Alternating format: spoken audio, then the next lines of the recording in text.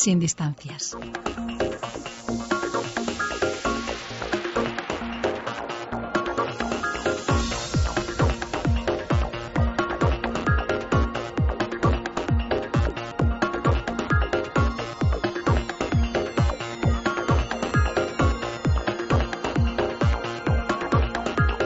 Dentro de su amplia oferta de posgrados oficiales y en consonancia con las demandas profesionales de más futuro, la UNED ofrece el máster en investigación en energía eléctrica, electrónica y control industrial. Formación altamente especializada que se dirige a la investigación en las áreas de ingeniería industrial, energía eléctrica, tecnología, electrónica, automática, control industrial y telemática.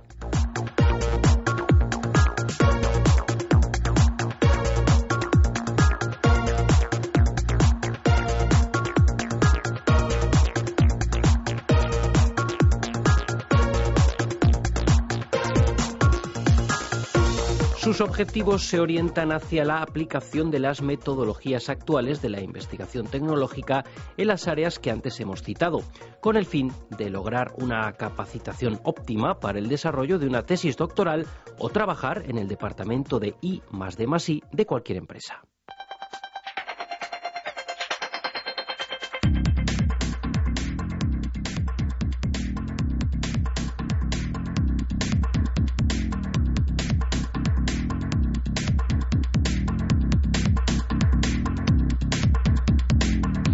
Aunque este máster sigue la metodología de educación a distancia de la UNED, ahora sus organizadores proponen una interesante jornada dirigida a estudiantes e interesados en la que se abordarán temáticas relacionadas con los itinerarios y las materias incluidas dentro del título. Será dentro de prácticamente un mes, el próximo 4 de marzo en Madrid concretamente en las instalaciones de la Facultad de Psicología. Eso sí, quien no pueda asistir también puede seguirlo en directo por Internet.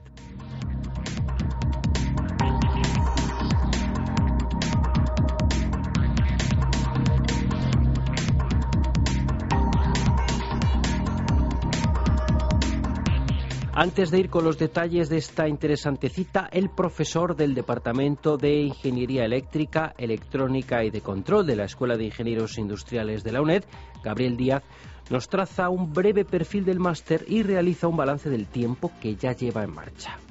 El máster es un máster de investigación, es lo primero que hay que decir, que creo que es importante, porque es un máster orientado a, realizar eh, después del máster una tesis doctoral. Em, es un máster que tiene cuatro itinerarios de investigación. Uno de los itinerarios estaría relacionado con la ingeniería eléctrica y la electrónica, otro sería control industrial, otro sería eh, energías eh, renovables y finalmente ingeniería telemática. Es un máster en el que actualmente hay alrededor de 75 alumnos eh, estudiando y bueno, pues yo creo que como muchas de las de los estudios de la UNED el 95% de los alumnos son gente que está trabajando y habría alrededor de un 15 o un 20% de alumnos que además no están residiendo en este momento en España. O sea, es bastante típico, yo creo, de lo que son los estudios, por lo menos de máster eh, en la UNED. Es un máster que además ya ha dado frutos, en el sentido de que, obviamente para los alumnos ha dado frutos, pero en el sentido de que de ese máster ya han salido varios proyectos de tesis de gente que está eh, siendo dirigida por profesores del máster. Mi opinión personal es que es, positivo, es, altamente positivo. También es verdad que es eh, muy alentador ver que el, número que comentaba antes, que más del 95% de los alumnos están trabajando, o sea, que tienen que, digamos, hacer compatible su, su horario laboral y además sus obligaciones familiares en muchos casos con, con, el estudio, con lo cual no son no estamos hablando de un máster que se acabe como en otras universidades en un año o un año y medio. Muchos de los alumnos pueden tardar dos y hasta tres años en finalizarlo, pero van a su paso, muy como lo, lo típico en los alumnos de la UNED. Y sí, yo diría que hasta ahora el, el resultado es positivo, es bastante positivo, sí.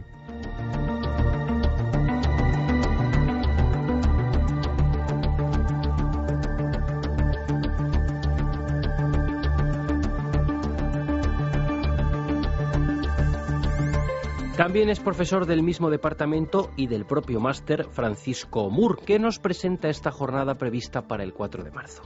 esta jornada básicamente es una jornada presencial que organizaremos concretamente el día 4 eh, de marzo, o sea, dentro de, un mes. Eh, en fin, esperamos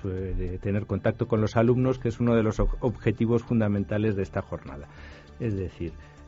vamos a, invitar a una serie de ponentes.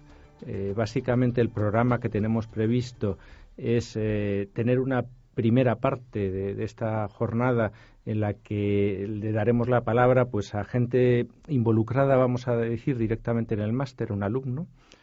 y a un exalumno, en el que pues nos cuenten un poco eh, su vivencia, su experiencia, qué les está aportando el máster o qué les ha aportado el máster y, y, qué han visto ya. O sea, las dos perspectivas, tanto dentro como alumno dentro del máster, como eh, un exalumno, una persona que ya ha pasado por, por esta actividad y, digamos, eh, que ha sacado de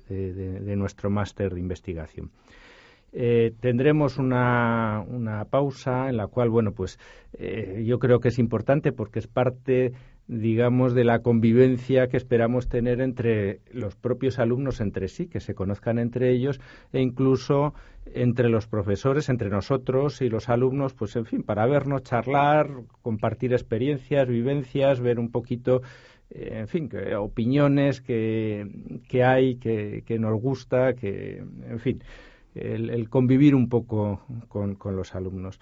Y después tendremos una segunda parte donde eh, está previsto invitar a dos profesores pues con experiencias en el ámbito profesional, en algún caso pues con proyectos, empresas que, que están llevando adelante y que nos contarán un poco pues sus experiencias pues más en aspectos técnicos o de investigación y que yo creo que serán eh, altamente interesantes para, para, los alumnos. Entonces, bueno, ya comentaba que estas charlas tendrán lugar el día 4 y esperamos que, vengan los alumnos a, a vernos ese día.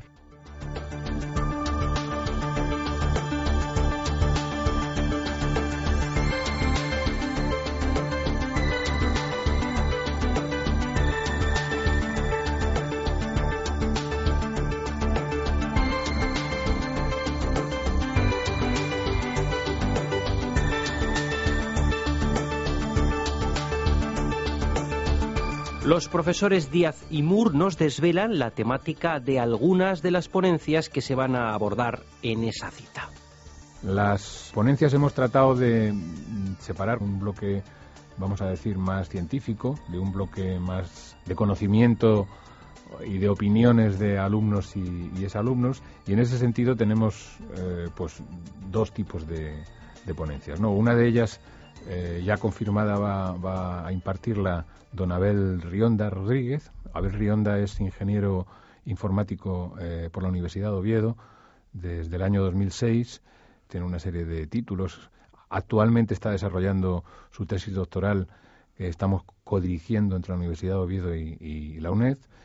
Eh, ha trabajado en una serie de iniciativas bastante interesantes desde el punto de vista de ingeniería telemática y de la ingeniería industrial y además desde enero de 2010 es socio cofundador y gerente de una empresa tecnológica, de un spin-off que diríamos de la Universidad de Oviedo que se llama ADN Mobile Solutions. Va a venir a contarnos eh, en particular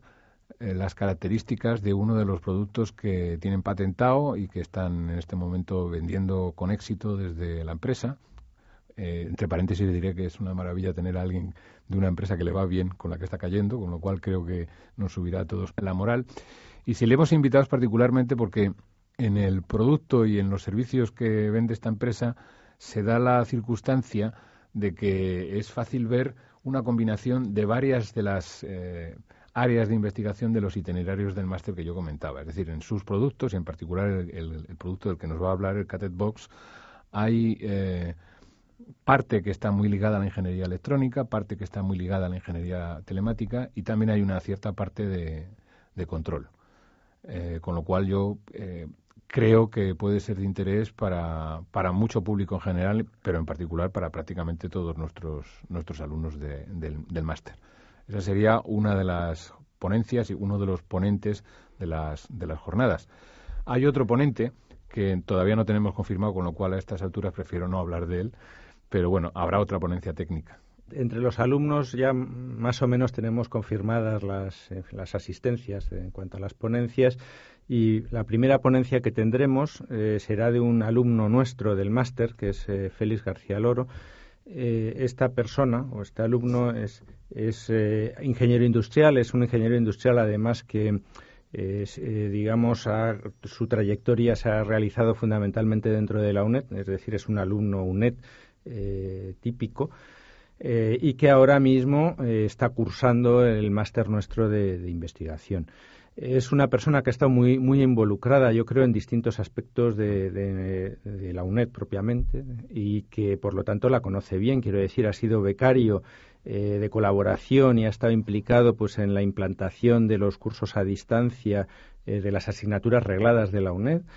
y por lo tanto conoce bien la, metodología y el, sistema que tenemos aquí, los medios, digamos, de comunicación a distancia, porque ha estado incluso dentro del aspecto organizativo de, los mismos. Es decir, creo que nos puede aportar bastante eh, dentro de este aspecto, en fin, pues su experiencia, eh, y sobre todo de cara a otros alumnos que quizás son, son nuevos dentro de este entorno a distancia telemático y que sí les puede, les puede apoyar bastante, vamos a decir.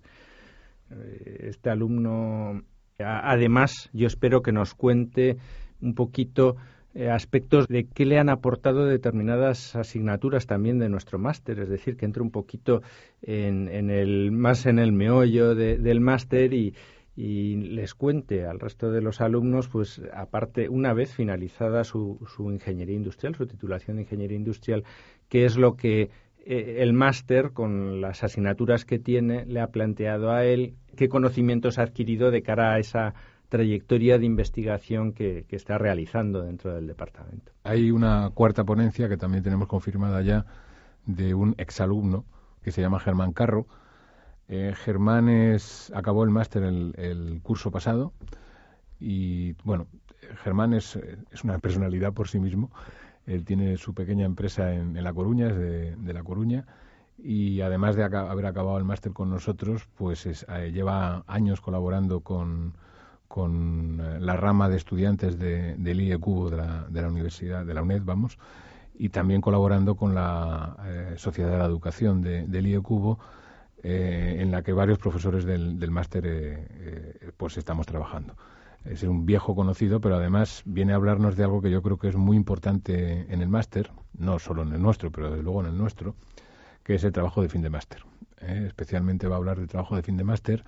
que teniendo en cuenta que estamos hablando de un máster de investigación,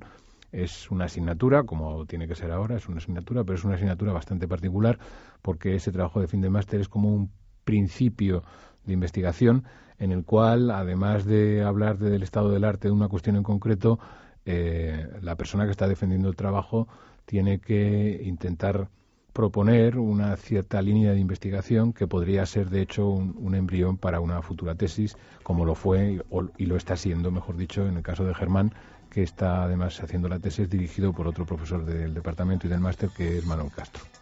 Y con eso, sí, efectivamente, ya estarían completadas las cuatro ponencias.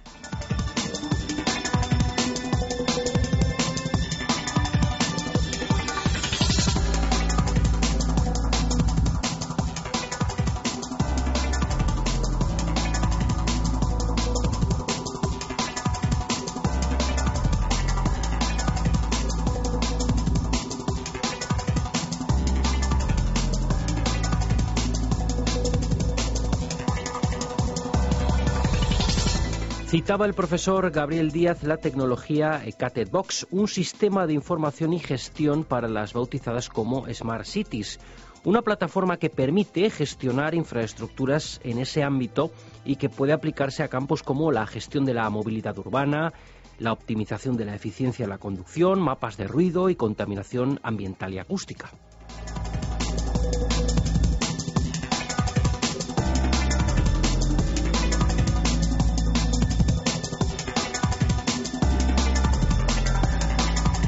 Los profesores Francisco Mur y Gabriel Díaz nos recuerdan qué deben hacer los interesados en participar en esta jornada. Por supuesto, aparte de, este programa de radio donde intentamos dar a conocer la jornada, ya tenemos una página web en la cual vamos, vamos, tenemos anunciado el máster y vamos a ir además dando las novedades que vayan apareciendo eh, sobre el mismo, es decir, actualización en cuanto a ponentes, en cuanto a actividades que se vayan realizando relativas a, esta jornada o incluso eh, posteriormente pasada la jornada. Eh, dentro de esta página web está el anuncio dentro de lo que es, digamos, la web del, propio máster. Tenemos una especie de entrada donde hay un registro para apuntar, eh, en fin, el nombre y un poco los datos de contacto de cada uno de, los alumnos. Digamos que esta sería eh, la forma de un poco de, apuntarse a la jornada. Eh, la idea, en cualquier caso, o sea, lo que queremos es que la gente se registre un poco eh, para eh, saber quiénes, quiénes vamos a estar, digamos, en esta jornada y además preparar un pequeño certificado a toda la gente que, venga con nosotros y, digamos, hacer un poquito más institucional el acto y, bueno, digamos, agradecer a, todo el alumno que, se apunte, pues el que venga aquí esté con nosotros en esta actividad que hemos organizado. En cualquier caso, eh, tenemos previsto también hacer una emisión, eh, digamos, en, directo a través de los servicios telemáticos que nosotros, nosotros tenemos, de la a, a través de, Internet. Y, por lo tanto, teniendo en cuenta que hay buena parte de los alumnos que, están fuera, es decir, probablemente tendrán dificultades para desplazarse y para venir aquí a, asistir en directo, eh, pondremos un enlace que les permitirá ver la sesión, incluso el mandar algún correo con alguna pregunta, alguna duda que les pueda surgir que, intentaremos ir contestando más o menos en directo también, en vivo. Eh, con lo cual, bueno, pues esto es un poquito, eh, digamos, la forma de comunicarnos o los anuncios que vamos a ir haciendo eh, nosotros ahora de aquí a, a la realización en el mes este que nos queda para, hasta la realización propiamente de, la jornada. Aunque lo tenemos ya anunciado también en la página que dice el profesor Moore, a través de la escuela vamos a intentar hacer un, anuncio más amplio, pues porque pensamos que especialmente eh, alumnos de los últimos cursos de, de grado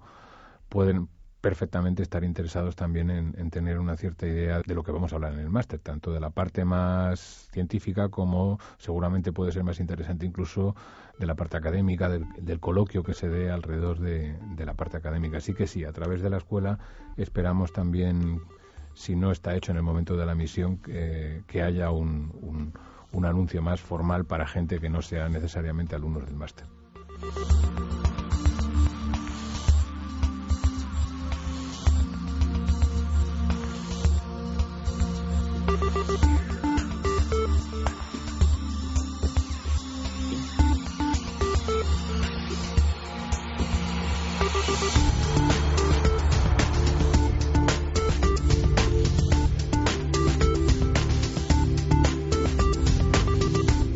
Toda la información está contenida en el enlace que se puede ver en el portal principal de entrada a los cursos virtuales que encuentran los alumnos del máster en investigación en energía eléctrica, electrónica y control industrial. También en la página del Departamento de Ingeniería Eléctrica, Electrónica y de Control, iec.unet.es. Los profesores insisten en el interés de la jornada.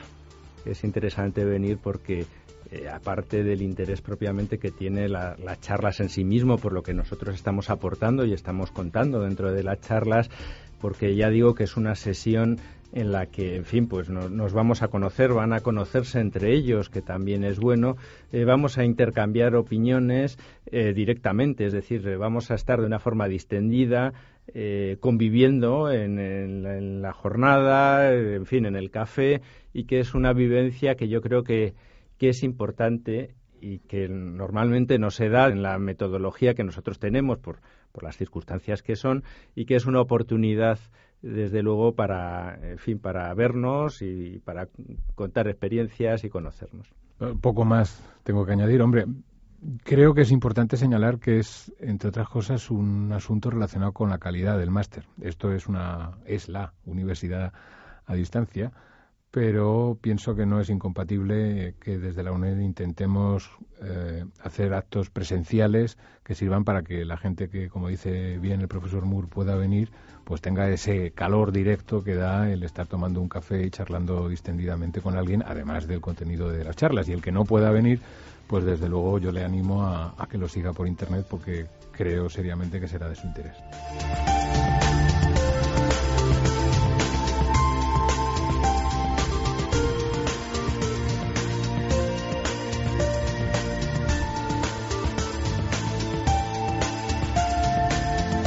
Te recuerdo que la cita es el 4 de marzo en el Salón de Grados de la Facultad de Psicología de la UNED en la ciudad universitaria, Madrid, y si no puedes asistir, pues ya sabes, podrás seguirlo a través de Internet.